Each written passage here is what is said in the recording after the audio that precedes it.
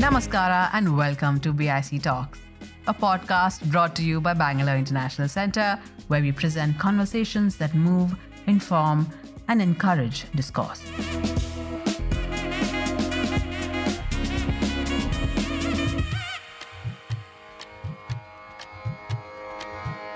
There is no finality to such human tragedies.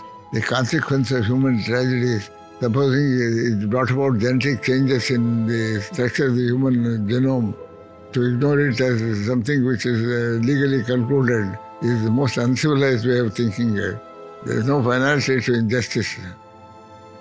They are open-ended things. They are civilizational issues. They are not uh, inter-party disputes of uh, litigation nature. They are not merely, they are civilizational obligations humanism and my goodness, how to treat it as a case. This is a matter of international concern, the matter of international concern. Welcome to None Wiser Than the Law, a series of conversations with Justice M.N. Venkatachaliah covering the law, his life, politics, and the Constitution. The title of this podcast comes from Aristotle, who said, To seek to be wiser than the law is the very thing which is by good laws forbidden. The role of a judge is therefore not to presume wisdom, but to unearth the wisdom of the law. Justice Venkatachaliah quotes this aphorism in a judgment, and in this series, we explore his judicial philosophy that shaped India's jurisprudence. My name is Alok Prasanna Kumar, and I'm a co founder of the Vidhi Center for Legal Policy. I had a chance to speak to former Chief Justice of India M.N. Venkatachaliah in August 2023. In our conversation, we covered a range of topics from his beginnings as a lawyer to his tenure as a Supreme Court judge, his landmark judgments, and his views on developments in law and society. In this episode of the series, we look at two judgments concerning two of the most traumatic incidents in independent India's history the Bhopal gas disaster in 1984 and the demolition of the Babri Masjid in 1991. Both these incidents gave rise to multiple cases in the courts, including cases that came up to the Supreme Court and featured Justice Venkatachaliah on the bench, namely Union Carbide Corporation versus Union of India, decided in 1991, and Dr. Ismail Faruqui versus Union of India, decided in 1994. The Supreme Court's role in the settlement between the Union of India and Union Carbide has been much debated, as was its role in the eventual closure of the Babri Masjid dispute. In this episode, we discuss reasons behind the court's rulings. But first, a little context. On the night of December 2nd and 3rd, 1984, approximately 30 tons of the deadly methyl isocyanate gas stored in US multinational Union Carbide's plant in Bhopal escaped into the atmosphere. The noxious fumes killed thousands, seriously harmed tens of thousands more, and lakhs continued to suffer the ill effects of that night. Soon after the incident, civil cases seeking compensation on behalf of the victims were filed in courts in India and the USA.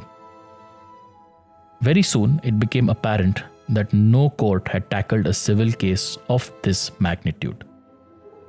In March 1985, Parliament passed the Bhopal Gas Leak Disaster Processing of Claims Act 1985, which gave to the Indian government the sole authority to pursue all civil claims on behalf of the victims of the tragedy.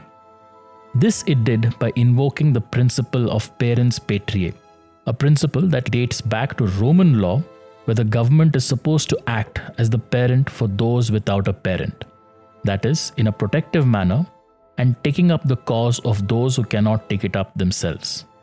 The Union government first approached courts in the United States but were rebuffed. US courts held that the US was not the place to pursue this claim, even though Union Carbide's headquarters were in the US, and that courts in India would be better suited for this purpose. When the trial eventually began in a Bhopal court, the first issue that the court was called to decide was the interim compensation Union Carbide ought to pay. This compensation was needed given the vast number of people affected by the gas leak, but also the difficulty in completing the trial quickly. The trial court fixed rupees 250 crore as the interim compensation payable by Union Carbide. When Union Carbide challenged this in the Madhya Pradesh High Court, the interim compensation payable was increased to rupees 350 crore. When Union Carbide filed an appeal, the Supreme Court urged the parties to arrive at a final settlement rather than debate interim compensation alone and prolong the case. In 1989, a settlement was reached between the Union government and Union Carbide for $470 million or rupees 750 crore as full and final settlement of all claims, civil and criminal. This settlement received a stamp of approval from the court in an order that provoked much criticism.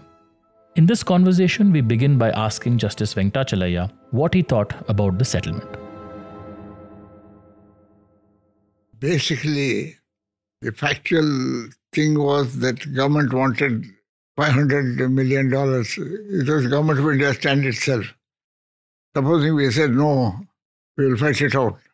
And ultimately, the decree was not domesticated in America. Who is answerable to it? Who is answerable to it? It will be the government and the courts, I assume. And uh, what we said was perhaps uh, one thing was missed is if the compensation that has been agreed to is insufficient, government of India must bear the burden. That's how we cleared our conscience, saying that are we approving something which. Secondly, could we have put this idea into the scales? Was it within our uh, concern whether the decree would ultimately be domesticated in America? That's a question whether we are concerned with it or not. Whether that decree that we are going to approve going to be domesticated for enforcement in, in America or not. Is it a legitimate concern for us to take into account when we approve the settlement or not? It's a very difficult question. And secondly, there were cases in which possibly, if I am, if my memory serves right, American court declined to domesticate a decree outside because the language is the court. And in India, they openly declared, I don't know at whose instance, the court proceedings will be Hindi so that large number of people will understand it. There's a language which is not understood by the defendant. Was it a germ of self destruction that was there unconsciously? Somebody got into it. Secondly, there was a case, uh, cases in which the, the lawyers were hindered in the trial. There's a petition for contempt, petition contempt, Nariman for, uh, for contempt. Was it a germ of self destruction for future uh, enforceability? The, these are whether it was legitimate for us to put it into the scales at all in approving the settlement. We have our reservations about it. Whether we go by the and one thing which I insisted, and the, my colleagues in the bench agreed, in spite of the government of India stand, that the account must be kept in a dollar account till the dispute was finally settled. Government of India said, no, we can't do that. We said it's a judicial order, we have to do it. Lo and behold, within six months, the 16 rupee became 32 rupees per dollar. We got, in terms of rupee, twice the money. Even the, the money might have not have been sufficient. But these are some of the cautious uh, steps that we ensured.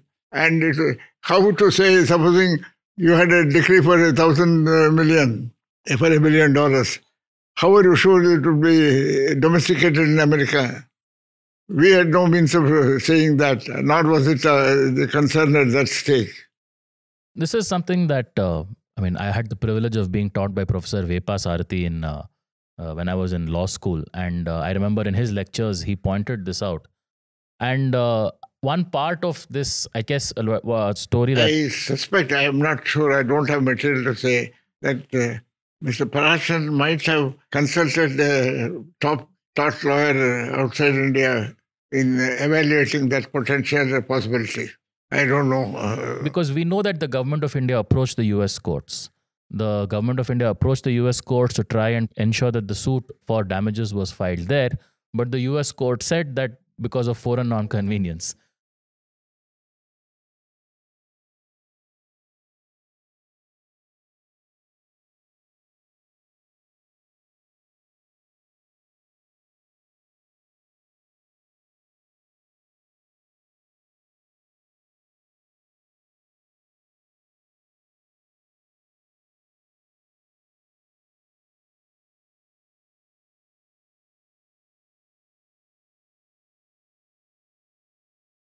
I think there was worry, and I think you fairly point that out that there was worry that even if we say more, that it might not be enforceable outside uh, India. And uh, what, I sort of wanted to ask was that did you leave it to the government and the Union Carbide? You come up with a number, and whatever you come up with will be okay, or The government of India itself, if I remember right, I am not very sure, uh, almost uh, 30 years ago.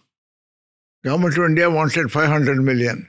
They were prepared to give them six months' time. If you counted down the six months uh, yield, it would come to 470 million. Uh, that was paid immediately. And we ensured that it was kept in a dollar account. And within six months, the rupee was devalued and became 32 for a dollar. At the time of settlement, was 16. in that sense, the terms of the settlement, at least the monetary aspect of it, that was keeping in mind that a large number may look good on paper but may not be enforceable. Quite right. But whether we could have officially taken note of it was a, moot point. That it was in the background of our minds can't be denied, but we didn't assume that any decree by a civilized court would be domesticated in another civilized country. And this is, I suppose, something which today, when we see that litigation happens all around the world, is enforced in India and Indian litigation is enforced elsewhere. Was there a reason, was there a specific kind of case that perhaps you worried that a direct decree in India may not be enforceable outside India? Unconsciously, we looked into a couple of cases. I think my myself looked into some of the cases, but uh, in the procedure, we didn't want to put in the, because it was between two parties. And there was a document that one of our uh, eminent uh, legal men had suggested 110 million. He had written to government of India for uh, the, must settle for this thing. And he was a great critic of this settlement. the government had taken up the claims on behalf of uh, the individuals who had suffered. The principle of parens patriae, there was that legislation which was passed consolidating all the claims. Did you feel the government had done a good enough job in representing the victims in this case? Good enough. Not the best, perhaps. What would you say would have been the best? Why did they stumble upon 500 million? Legally, they present a. In fact, the case law and the notes that they prepared in those volumes could be an asset to any library, uh, law school library. Okay, then I must ask Mr. Parasaran then for this. Yes, yes, yes, beautiful thing. In fact, I told them just offhand in court how in the flowering season a gentleman sprayed pesticide on uh, the flowers. Millions of bees came from outside and they sat and died. He said they're trespassing bees. Beautiful judgment of the English courts. I mentioned that. Within five minutes, Parasaran team, I think there's one boy who was assisting, who became judge of the High Court. He, within five minutes, he picked up that case and gave it to me. It's an English uh, court which said uh, amongst bees there's no trespassing bees, and uh, millions of bees died as a result of. Uh, then they made a rule that they should not spray in the flowering season pesticides on the plants. That's right. And uh, was it that they started with too low a number that the union government, they might have started with a higher number in your view? Might have. Whether they used their bargaining power up to the potential or not, uh, I'm not the judge. But looking back, uh, they could have. See, there's an old story. There's a man who had a horse on the roadside and put for horse for sale. And the horse was next to him, tied up to a peg. Somebody came and asked him, I want to buy this horse. What's the price you want? Thousand dollars. He said, I don't think I'll give you 50 bucks. He said, take it. He said, you asked for thousand dollars and now you are selling for 50. He said, uh, maybe I thought you wanted a thousand dollar horse. You see, see the subtlety of that. Maybe I thought you wanted a thousand dollar horse. Why should I come in the way? Uh, that's a fair point. That's a fair point. And uh, one sort of last point that I kind of want to address here we see that uh, Indian lawyers they face some criticism in this case. Specifically, I want to talk about uh, Mr. Nani Palkiwala's affidavit in uh, the U.S. court, which said Indian courts are too slow. They will not be able to dispose of this uh, case anytime soon. They are too bur- overburdened. I remember this was one of the very first things that we studied in law school in the law of torts. Mr. Nani Palkiwala's affidavit, and I think Mr. Galanter's counter affidavit on this point. How was it received that perhaps the most well known Indian lawyer has gone and said this about our courts in another country? It was obviously against the interests of that company, Union Carbide. It may not look patriotic, but uh, you can't rule out it being realistic. And uh, Palkhiwala was such a brilliant legal mind that he would have taken all aspects into consideration, unlike judges who, who might, perhaps as a professional, uh, for a fee, give an opinion.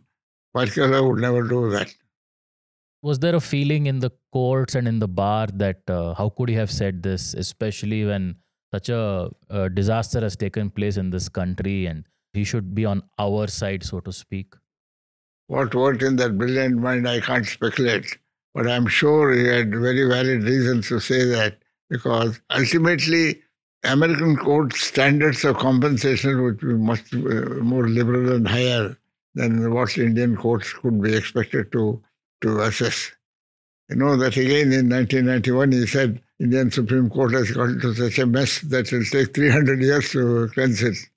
Economist of uh, London wrote a scathing indictment to the Indian Supreme Court. We also have uh, Mr. Fali Nariman, who appeared for Union Carbide. And uh, he did receive a lot of criticism in the public, saying that, again, you know, the same very similar grounds. But how do you think he did his professional duty in this circumstance? You know, people who make criticism of uh, lawyers appearing in conflicting cases don't understand the philosophy of the profession. Rights of man, the author was prosecuted no lawyer was prepared to appear for him for fear of retaliation. The then Attorney General, Erskine, wrote to the king, he was a great friend of the king, that the day a lawyer declines to appear for a client in a court he generally practices in at the end of the liberties of citizens in England. He resigned and defended him. That's the ethos of the profession. And you can't blame a lawyer for accepting a brief because somebody must appear. Now there's uh, sometimes when a very cruel crime occurs, there's a sentiment that nobody should defend him. And that's, that's the end of the professional ethics of the country. No, that's that's right. And I think uh, in that sense, uh, did you sort of see Mr. Uh, Nariman kind of have to deal with this criticism? Did he just like be fine with it, or do you sense it might have affected him in any way? I'm sure he would have taken all this into consideration before he accepted it and accepted it after being satisfied that it was not in violation of any rule or ethics or practice. And uh, it's good that he appeared for that case because courts could trust to uh, good assistance.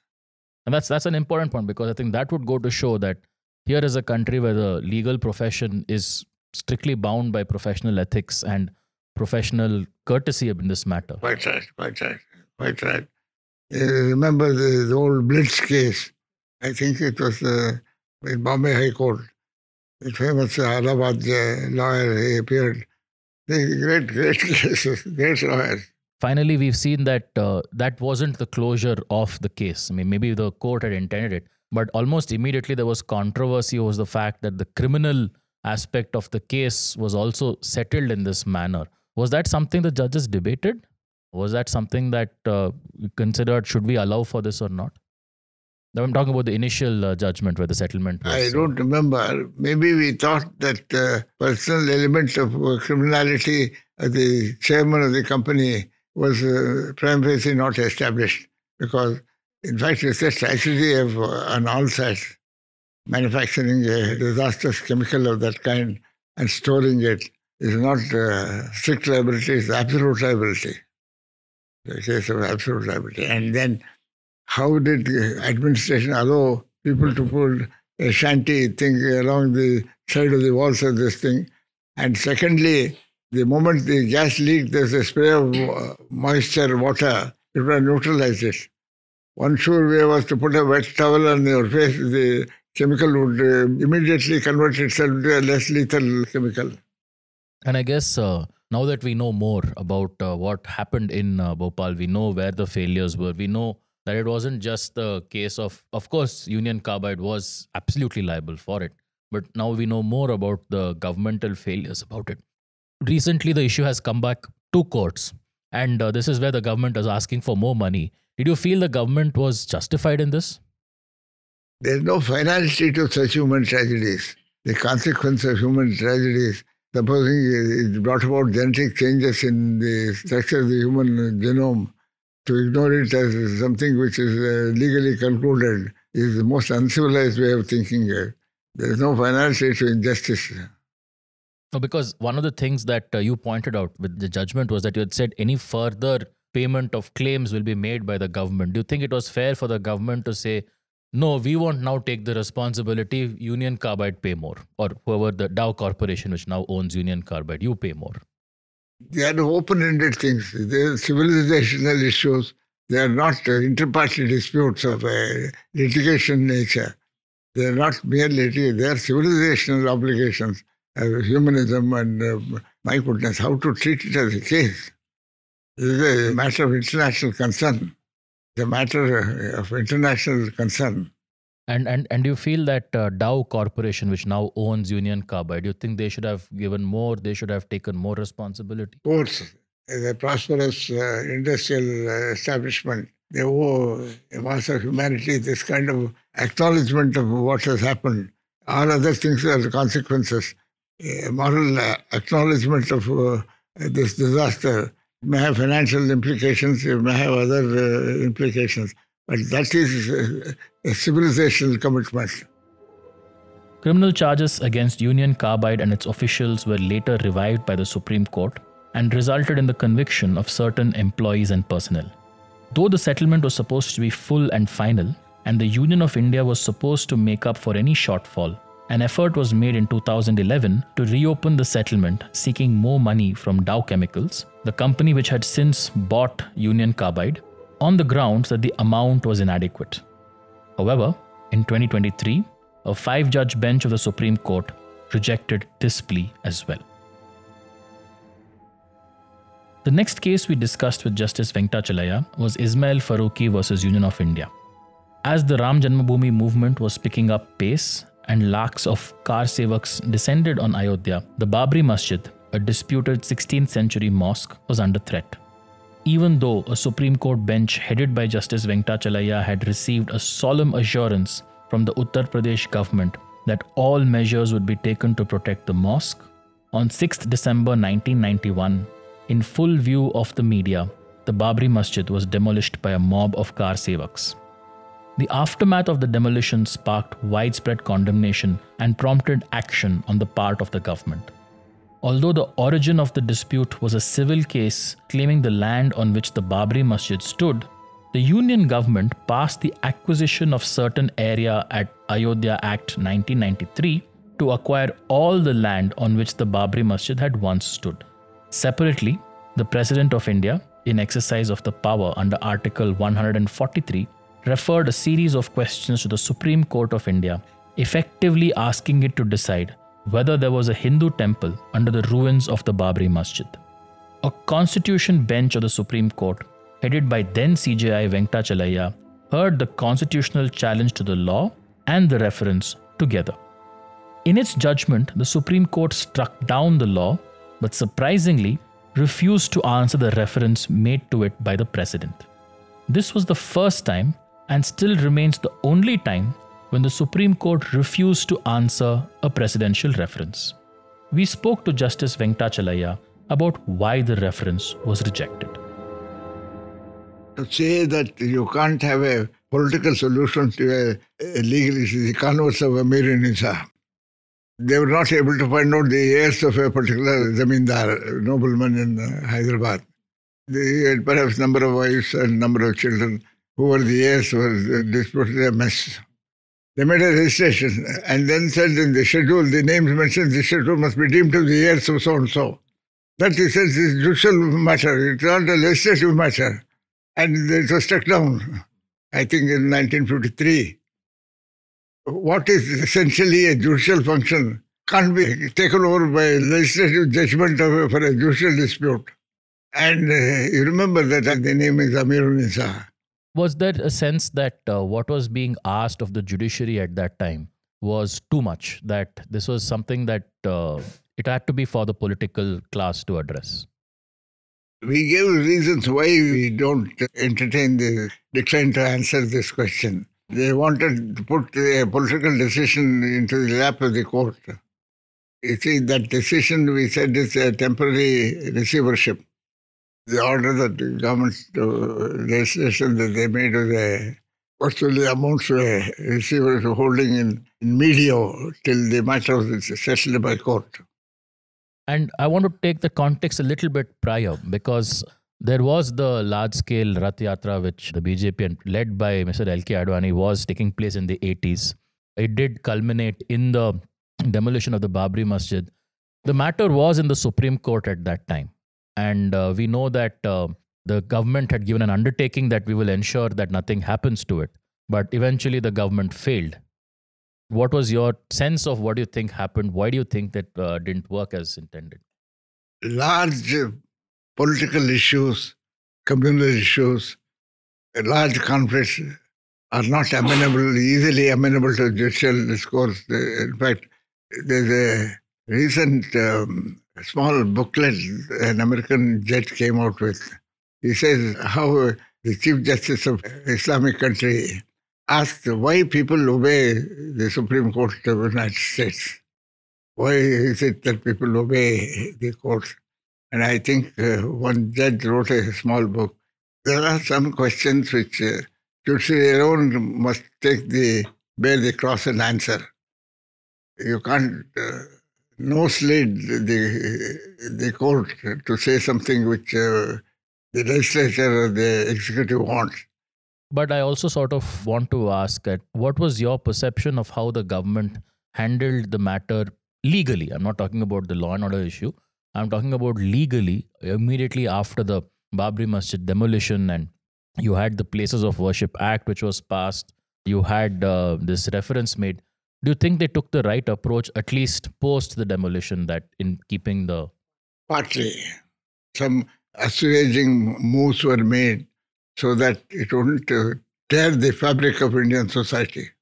Not that the claim of either party is emotional. And there's a lot of sentiment attached to it, some pretended, some real. These are all problems which uh, are difficult to contemplate. But you said only partly. I said, what, what do you think the government could have done at that point of time?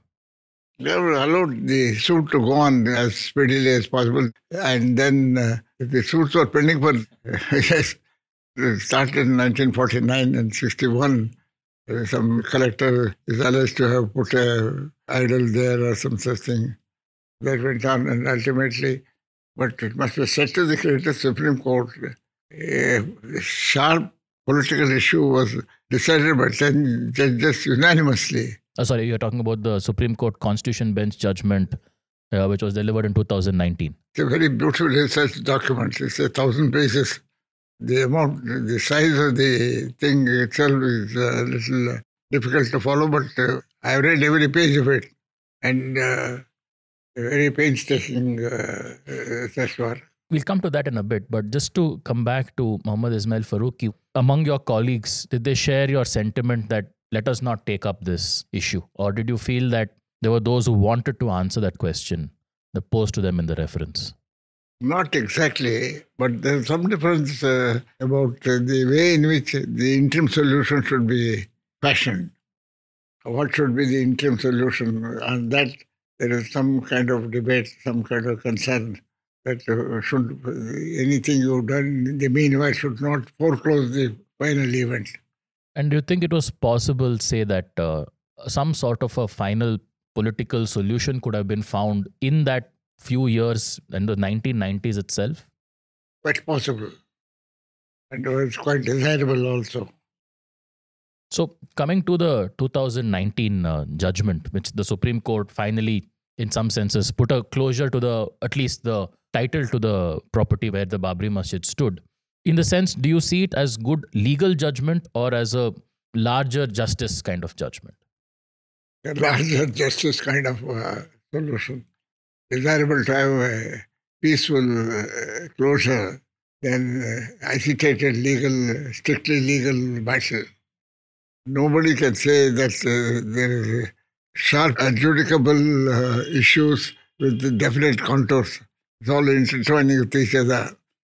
It's something like the Quebec secession case. Judgment can be a reflection of the larger consensus than imposing a consensus. You recognize and acknowledge the consensus, both the law and the facts.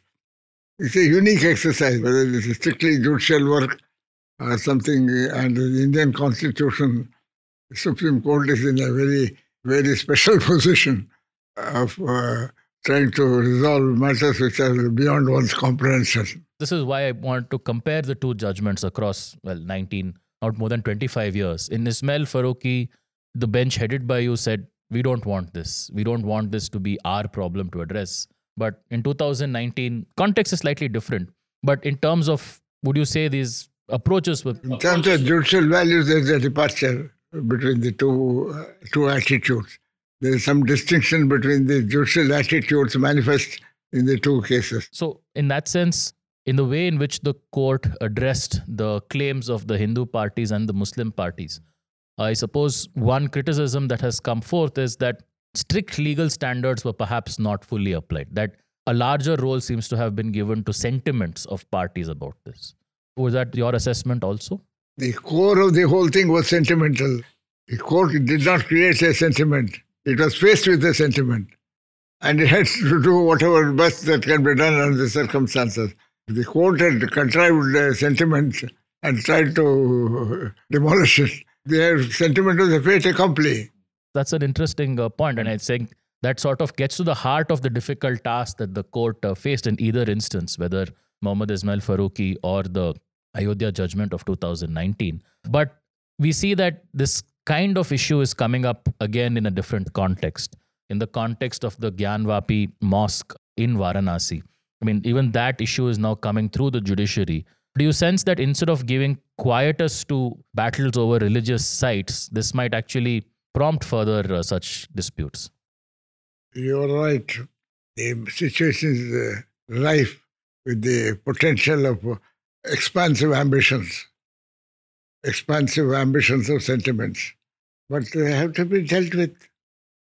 Dealt with. these matters are now, it's a crucial stage where the judiciary must take a firm stand on, uh, on some of these issues. What was your uh, thinking on the Places of Worship Act, which puts, uh, you know, a, a, it was an acknowledgement of the historical evolution of Indian predicament.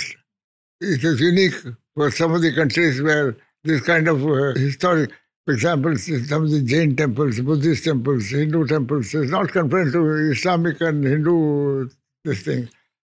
Hundreds of these things. And there's one temple in Karnataka where the, the mosque is in the first floor, the Shiva temple is in the ground floor. How to deal with that place of worship? That's right. And I think uh, understanding this complexity of uh, India's history, and which is why something like the Places of Worship Act acknowledges to make it uh, legally adjudicable issues is an oversimplification of the great social and political uh, complexities of society. It's a reflection of the immense, irreconcilable conflicts of Indian Indian society. And uh, just on on this one uh, last note about this particular uh, judgment, did it also, in some sense, influence the composition of the bench in the SR Bommai case, where some of the governments dismissed came to court in the context of uh, the president's rule?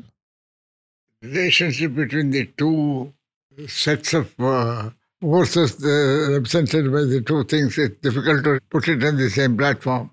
That only says the impossible complexities of Indian political life. That's the most exciting part of it because they're irreconcilable. And that's the point of conciliation, that accepting that irreconcilable is the reconciliation. No, and that is a very, uh, very nice way that you've put it, that conciliation doesn't mean you accept that it is all reconcilable. I remember uh, this Matthew once said, you are confronted with two realities. It is not open to you to say which is the correct, which is not. You must uh, assign it to the irreconcilabilities of life, to conflicting truths. You can say which is true and which is not. It's not for you to choose. The coexistence, the reflection of the The Mystery of Life. Uh, I think he quoted from the Literary Supplement, uh, the English newspaper Literary Supplement Times. Literary Supplement, yes. When he quoted that. You are raising civilization issues. Eventually, in 2019, the Supreme Court of India decided the main legal case between the Hindu and Muslim parties in the Babri Masjid case and held that the site where the Babri Masjid once stood should be handed over to the Hindu parties. The UP government was directed to provide a separate plot to the Muslim parties to build a mosque. In the next episode, we will be hearing from Justice M. N. Venkatachaliah on his early days as a lawyer, his memories of Bengaluru, its courts, and the legal profession. This episode was recorded at the Indian Institute of World Culture in Bengaluru, and I'd like to thank the team and staff at IIWC for making this possible. I'd also like to thank my colleague at Vidhi Bengaluru, Pratiksha Ulal, for her research help during this podcast. You have been listening to BIC Talks by Bangalore International Centre. If you like what you heard, do follow us on social media. Keep up with our programming by signing up for our mailer on the website or leave us a review or rating on Apple Podcasts or iTunes. The crew that makes these podcasts possible is Gaurav Krishna and Ishan Gupta on sound supervision and production, with support from S. Sarunaraj and Raghu Tenkaila. Artwork is designed by Chandni Venkataraman of Crisscross Design Studio. Don't forget to subscribe to our channel on your favorite podcast platform. It can also be accessed on our website, bangaloreinternationalcenter.org. This is Lekha Naidu signing off on behalf of everyone at BIC.